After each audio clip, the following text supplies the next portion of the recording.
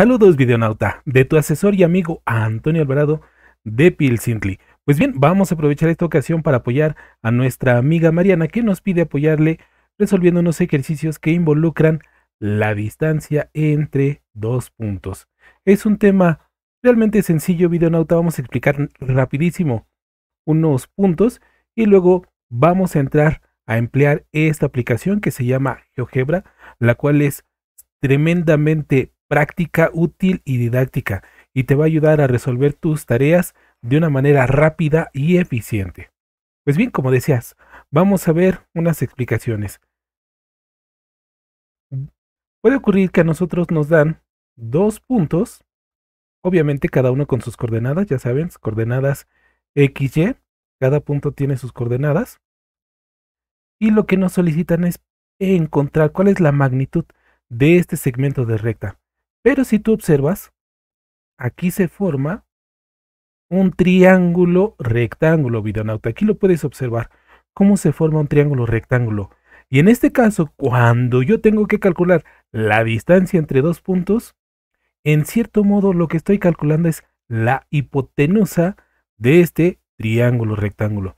Si recuerdas, el teorema de Pitágoras dice lo siguiente, que c al cuadrado es igual a la suma de los catetos al cuadrado.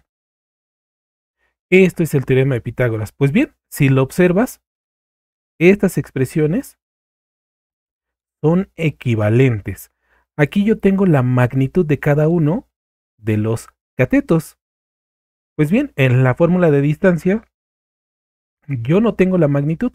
Lo que tengo son las coordenadas. Eso es lo que me están dando aquí. Pero si te das cuenta, en realidad esto de aquí es lo mismo. Y yo me adelanté con un paso más porque en realidad esto debería de estar así. La suma de los cuadrados de los catetos es igual al cuadrado de la hipotenusa. Y si yo quiero obtener únicamente el valor tal cual de la hipotenusa, lo que tengo que hacer es a esto sacarle la raíz cuadrada. Ahora sí puedes ver que estas dos son pues eh, unas expresiones equivalentes. Aclarado esto, pues vamos a comenzar, vamos a poner manos a la obra para pues poder realizar los ejercicios.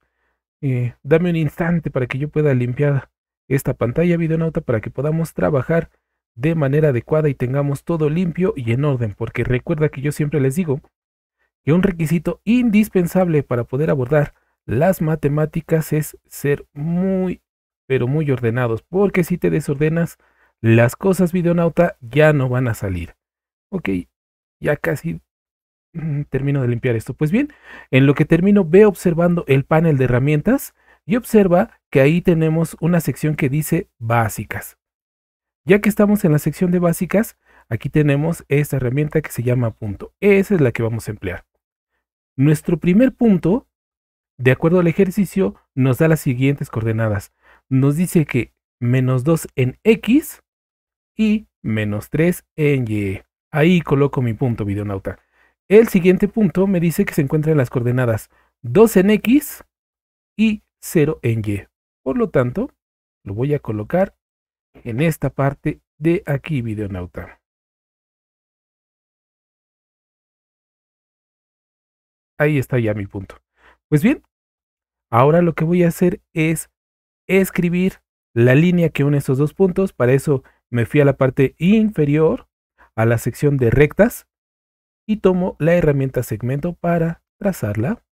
Ahí está. Voy a regresarme a la parte superior para tomar la herramienta mover. Vamos a centrar esto para que tú lo puedas observar mejor, videonauta. Y ahora sí, vamos a hacer lo siguiente. Para poder observar las coordenadas correctas de estos puntos, lo que voy a hacer es dar clic en cada punto. Voy a apretar este, el botón derecho para eh, eh, obtener este menú contextual y voy a elegir propiedades. Se me despliegan estas pestañas de aquí. Pues me voy a quedar en la primera pestaña que dice básico. De aquí voy a irme a la opción etiqueta para elegir que me muestre el nombre y el valor. Y así puedes, ser, puedes ver Videonauta como me muestra el nombre del punto y las coordenadas donde se encuentra. Voy a hacer exactamente lo mismo con el siguiente punto. Le doy clic y le doy nombre y valor. Me muestra ese punto y las coordenadas. Voy a dar clic sobre la línea y en este caso lo que voy a elegir de la primera pestaña básico y de la opción etiquetas que me muestre su valor.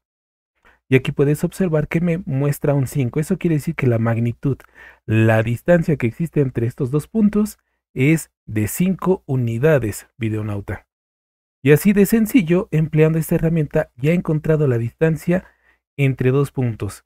Simplemente, como un pequeño repaso, vamos a hacer esto mismo de manera analítica. ¿Recuerda cuál era nuestra fórmula? La que nos dice que la distancia entre los dos puntos es igual a calcular las raíces de estas eh, coordenadas. Entonces, esta sería mi x2. x2 menos, perdón, la voy a borrar esto porque sería x2 menos x1, perdón, aquí esto sería x2, tiene un valor de 2, menos x1, y x1 aquí puedes ver que vale menos 2. Por lo tanto voy a escribir este menos 2. Estoy abriendo este paréntesis porque este menos de aquí, este menos que tengo aquí es de la fórmula, y este menos es del valor que tiene la coordenada. Por eso tengo que escribir esos dos puntos. Lo vamos a elevar al cuadrado y le vamos a agregar la diferencia entre las coordenadas restantes, que sería y2, que vale 0, menos y1, que en este caso es menos 3. De nueva cuenta, este menos es de la fórmula y este menos es del valor de mi coordenada. Esto elevado al cuadrado. Recuerda, videonauta, que la jerarquía de operaciones me dice que tengo que resolver primero lo que se encuentra entre paréntesis. Para poder quitar este paréntesis voy a aplicarle de signos. Signos iguales siempre me llevan a positivo, de tal suerte que esto me queda 2 más 2. Como no tengo un resultado todavía, esto sigue quedando entre paréntesis. Aquí, para quitar este de aquí, signos iguales me llevan a positivo, me queda 0 más 3 elevado al cuadrado. Ahora lo que yo voy a hacer es hacer esta suma, 2 más 2 que me va a dar 4. Y 0 más 3, pues desde luego que es 3. Esto elevado al cuadrado. 4 por 4 nos va a dar 16. Recuerda que la potencia me indica que yo multiplique este número por sí mismo las veces que indica este exponente. Por lo tanto, 3 por 3 me va a dar 9. Ya que he realizado todas las operaciones, me quedó simplemente esta suma del final videonauta. Ahora todo lo que yo tengo que hacer es entonces realizar esta sencilla suma. Y tú sabes que 16 más 9 es 25. Vamos a colocar entonces nuestro 25. Y para finalizar, yo lo que tengo que hacer únicamente ahora es calcular la raíz de esto y la raíz de 25 es 5. Y puedes observar que efectivamente el valor que yo he tenido de manera analítica es exactamente el mismo valor que me ha entregado el problema. De esta manera, puedes resolver los problemas de distancia entre dos puntos de manera muy rápida y precisa empleando GeoGebra.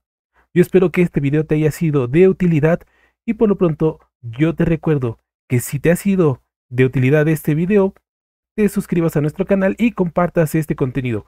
Por lo pronto me despido de ti deseándote que te la pases muy, pero muy